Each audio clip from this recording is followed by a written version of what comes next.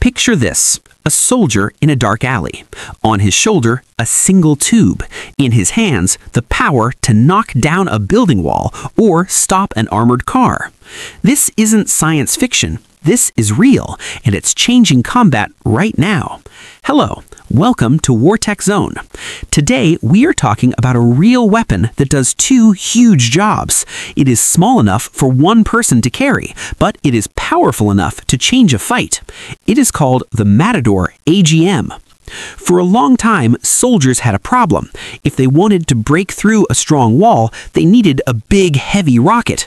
If they wanted to stop a light armored vehicle, they needed a different rocket. They had to carry two different weapons or choose the wrong one. In a city fight where everything happens fast, this was a deadly problem. Then, engineers from Israel and other countries asked a simple question What if one weapon could do both? The answer was the Matador. Its special feature is its warhead. Warhead is just the word for the explosive part at the front of the rocket. Most warheads are built for one thing only, but the Matador's warhead is programmable. This means a soldier can choose the setting.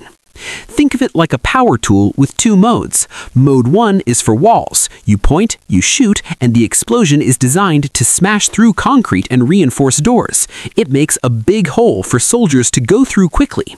Mode 2 is for armor. You point at a vehicle, shoot, and the explosion focuses into a sharp, piercing jet of metal. It cuts through the armor to stop the vehicle. One tube, one rocket, two completely different results. The soldier decides in seconds. This simple idea is a revolution. But how do you make something so powerful safe for the soldier to use? A big rocket has a huge blast out the back when you fire it. This back blast is dangerous. It means you can only fire from open spaces. In a city, going out into the open can get you killed. The Matador was engineered to fix this. Its system controls the explosion inside the tube. This means the soldier can fire it from inside a small room or from a window. The back blast is very small. This is a huge deal. It lets the soldier stay hidden and safe. He can shoot from cover. This changes everything in a street fight.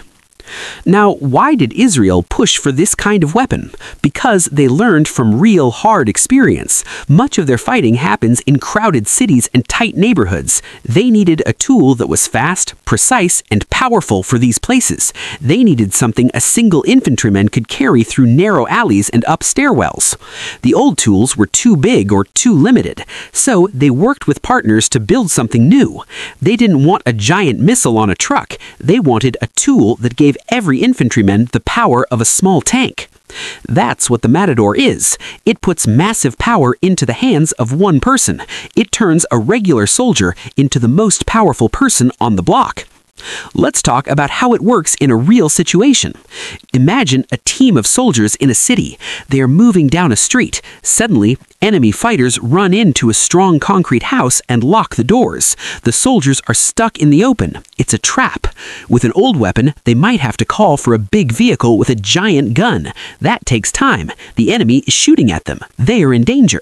But with the Matador, one soldier gets down on one knee. He sets the warhead to wall mode. He aims at the corner of the building. He fires from right where he is, behind a car. Boom! The explosion blows a clean hole right through the wall. Now his team has a new door. They can rush in fast and surprise the enemy inside. The fight is over in moments.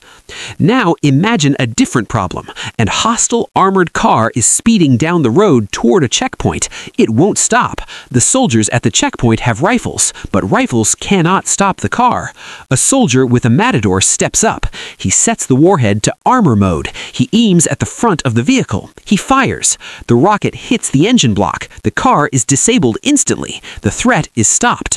One weapon solved two totally different problems. This is the real value. It is simple and it works. You might think such a powerful rocket is hard to aim, but it's designed to be very accurate. Even if the soldier is nervous or in a strange position, the rocket flies straight. It has a good guidance system. In a city, you cannot miss. There might be civilians in other buildings. You need to hit exactly what you aim for. The Matador is built for this precision. When we compare it to other weapons, the Matador wins because it does more with less. Other shoulder-fired rockets are often bigger and heavier. Some can only attack tanks. Some can only destroy buildings. Soldiers have to carry more weight, and they have to guess which threat they will face.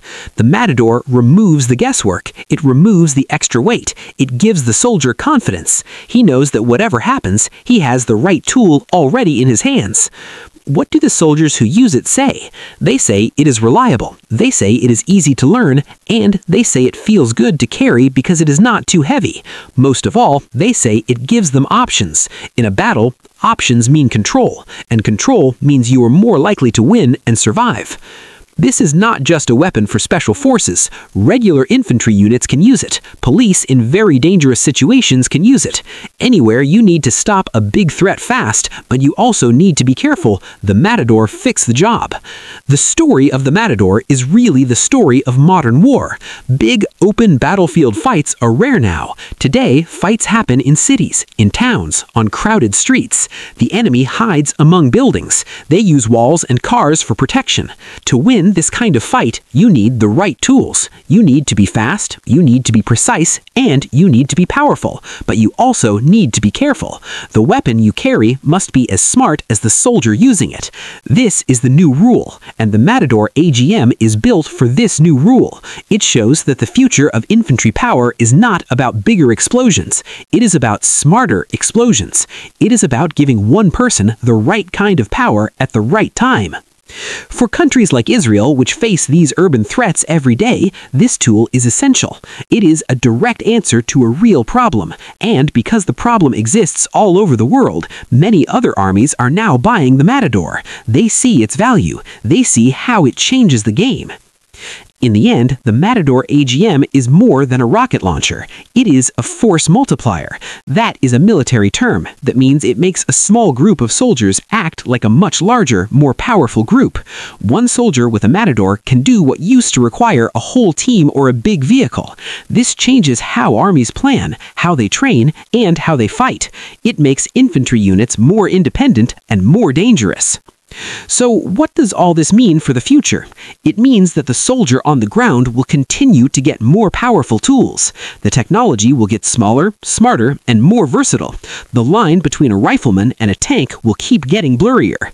Weapons like the Matador are the first step in this direction. They prove that with good engineering, you can pack a giant punch into a small package. You can give an individual soldier the power to shape the battle.